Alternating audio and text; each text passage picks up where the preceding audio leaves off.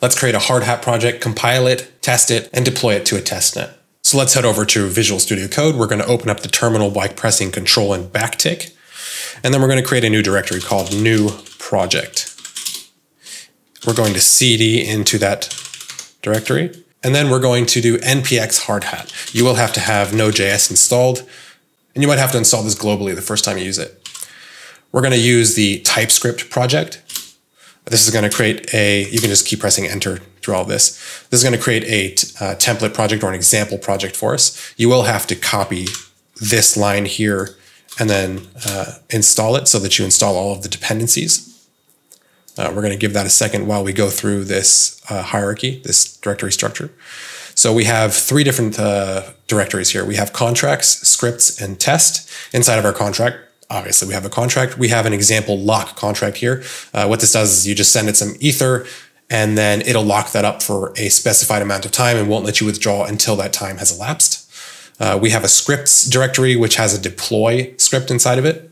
Uh, this does does some basic stuff like filling it with a, a locked amount and giving an unlock time. Uh, and then we have a test which actually tests the contract, and we probably won't get into this in this guide. We will run this though. Uh, all right, so now we have all of our dependencies installed. We also have something very important called a hardhat config.ts, which is basically just the configuration file for all of hardhat. Uh, and we're going to do this, uh, let's do it step by step. So we'll go npx hardhat compile. This will compile the contract just to make sure that we don't have any errors.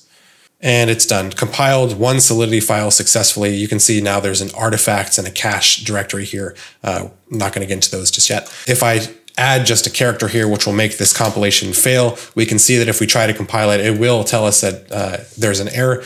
Usually it'll give us a little bit better error message, but uh, you get the point.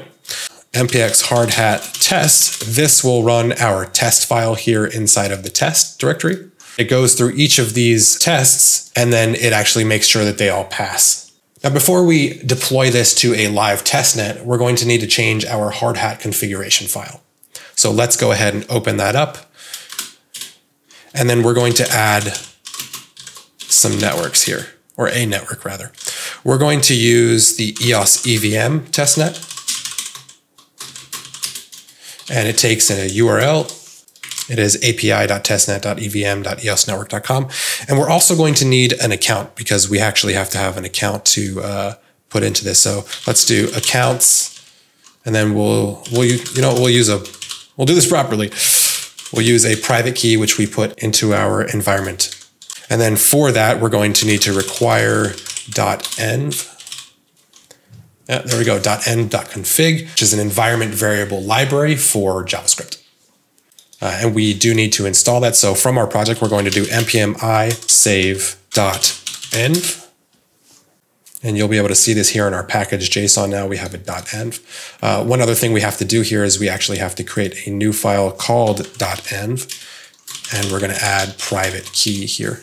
I'm just going to use a private key specifically for this tutorial, so you guys can see exactly what you need to paste in here. The private key is longer than the address and does not start with the 0x prefix, so you can be sure that that's a private key. If you want to generate one, you can go over to uh, this website, vanity-eth.tk.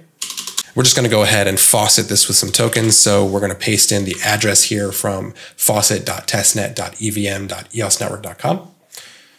And we'll send it some EOS. I'm going to do this a couple times just so that it has a couple tokens, has a little bit of balance.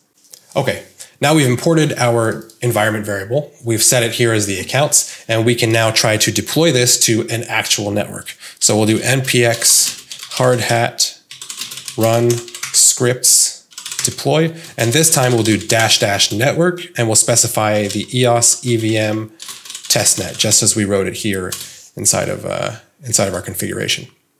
We are now able to take this, which is the address, and come to the Explorer, go up to the top right, paste in that address, and you can see that now this address has a contract which lives on top of it. And that's all that you need to know in order to compile, test, and deploy your contracts onto the EOS EVM. Make sure to tune in next time because we're going to get into some smart contract development and have some real fun. Catch you later.